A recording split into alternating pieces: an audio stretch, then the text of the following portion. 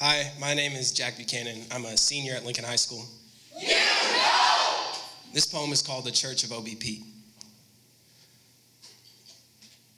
Recently, I've reflected on a trip that I took down south. While I traveled to my roots, I thought of my future in the country that I was born in, how times were changing. It seemed every day there was another shooting or presidential blunder caught on the news, but I was on holy ground in the South. I found myself in church. Rarely do I ever attend. I've nothing against it, but in my experience, the only times that I've ever been in one were for weddings and funerals. In my story, the latter is what brought me, not ladders like Jacob to find a way to heaven, no repentance in my makeup for the absences, empty spaces in my pew. I was there for my grandmother's funeral. And unlike an unfaithful, I felt not uncomfortable. There was space for a sinner in my seat. After all, this was my great grandfather's building, the church of O.B. Pete. The search for dry eyes was easy as pecan pie, the sweetest funeral I've ever been to. I was astounded there was no sorrow here. Even in our procession in black clothes, in black cars, in black bodies, a perfect protection, there was no sorrow. Just church songs that rain refrains like raindrops pangs off of tin roofs. And I thought of more roofs, roofs like Dylan, the man who murdered nine black bodies in a church like this one, a place with no sorrow.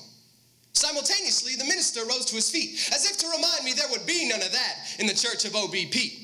Here, no sullen faces sunken into shoulders, telling stories that seem made up to pass the time and take our minds off this, but reminded of this. Voices rang high, made music to dance with the dead, oblivious to them.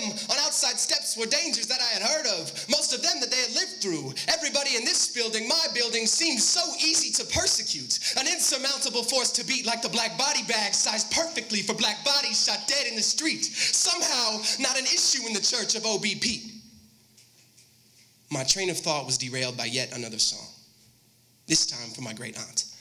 Solo, she sang not so much beautifully, but tolerable. Her black lungs and her black body slipped black soots between her vocal cords that hinted at what used to be a fire. She sang while she sobbed. And for the first time in this invincible building, I felt something familiar. Her eyes were closed and her voice did not stutter as she pictured God and her sister meeting. I don't remember the words. I don't have to. Here I realized the dangers of the outside world weighing in our door frame in the face of a family stitched together through circumstance. A patchwork hammock I could lay my head in.